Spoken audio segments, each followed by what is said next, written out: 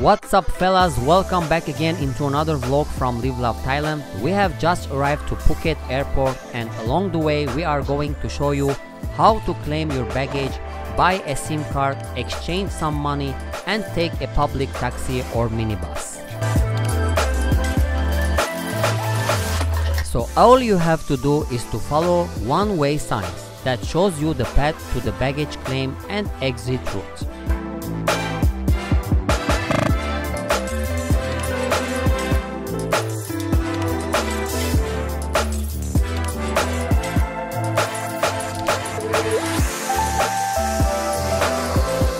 So once you go down the electronic stairs, you will be in front of the baggage belts. And in a short time your baggage will arrive. And you will be walking straight following the exit sign, which also indicates about the public taxi and bus.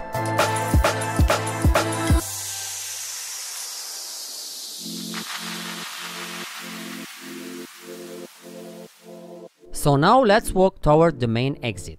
Here the walk is very short, it won't take more than 10 minutes to get out.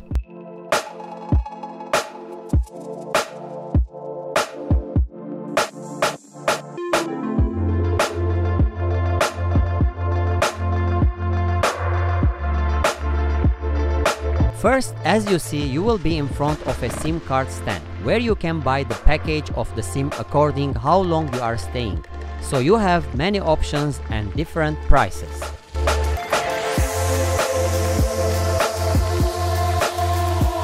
After that you have many exchange shops where you can exchange money.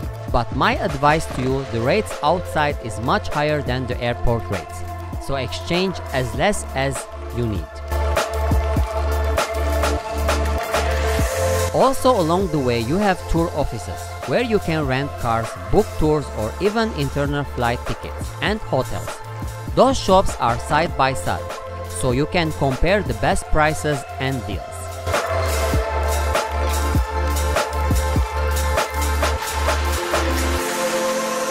After that you can walk to the main exit, where I usually book my ride to my accommodation. Here the prices are fixed, no scams or bargain. As you see the main point of Phuket's island, Karon and Kata for 200 baht, whereas the famous Patong which is much nearer than the others only for 180 Thai baht.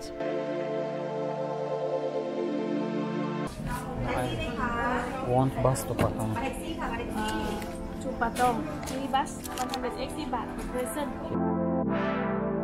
Now if you like to take a taxi, then the prices are also written on board. For example, a taxi to Patong is 800 Thai baht.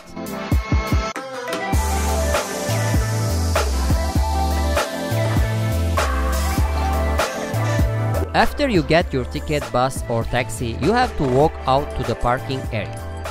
So we got our bus ticket and we are walking now to the bus stops.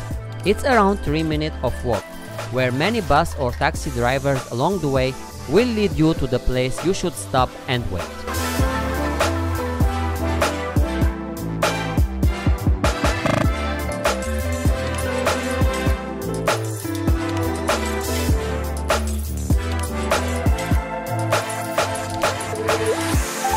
Concerning minivans, sometimes in low season you have to wait around 10 to 15 minutes, so that the bus is full and you can have your ride.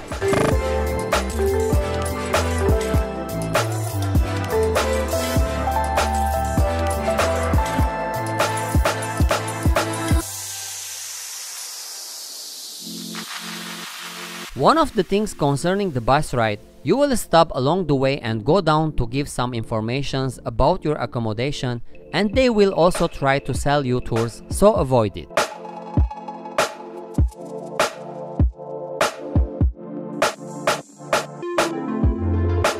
While when you book a taxi, it's more private and you are directly picked up and head to your accommodation.